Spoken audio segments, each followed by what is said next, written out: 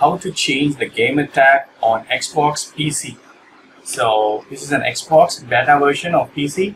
So you need to click on your profile once you log in. Click on this profile. You need to click on the settings. Under settings, right, you can see this change gamer tag. So I never changed that, so I'm gonna click this. So here, right, I can change the gamer tag. One thing you should understand that first time it is free. If you're going to change, second time you have to pay for that. So this is the first time I'm going to change it. So I'm going to change some name. Key Gamer. Check availability. Wow, it is available. This is for Xbox One console and Xbox apps.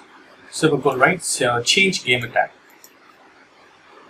Are you sure you want to change your gamer tag? You will not be able to change it back. Yes. Super cool. Now I have changed my game tag on Xbox One Live. See, now it has been changed. The game tag has been changed. Super cool, right? That's it. Thank you so much for watching. Please put a comments and feedback in the video. Thank you. Bye.